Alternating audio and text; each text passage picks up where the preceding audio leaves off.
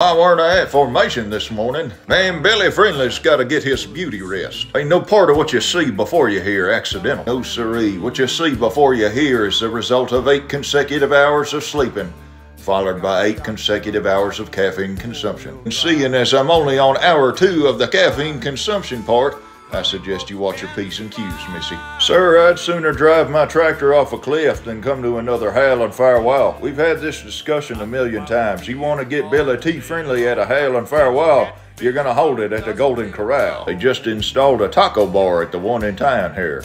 And I caramba, it is something special. If the good Lord wanted me to take my hands out of my pockets, he probably wouldn't have put them on my pants to begin with. Sorry, Major, what's the point of having all that grass out there if you're not going to get out and walk around on it? What's this? Someone else wants me to write a letter for his packet. Stop pestering me.